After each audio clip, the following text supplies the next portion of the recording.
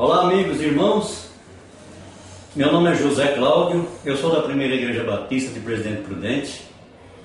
E é com muito prazer que eu venho falar aos irmãos, aos amigos, que eu tive a oportunidade de participar da VTI, Vida Total da Igreja, com o pastor Adilão, aqui na Primeira Igreja Batista, e eu confesso aos irmãos que fiquei muito impressionado com tudo que eu vi aqui, com tudo que aprendi para a minha vida e eu creio que todos que ouviram tenham guardado alguma coisa, alguma lembrança de, desse, dessa palestra que foi muito importante para nós.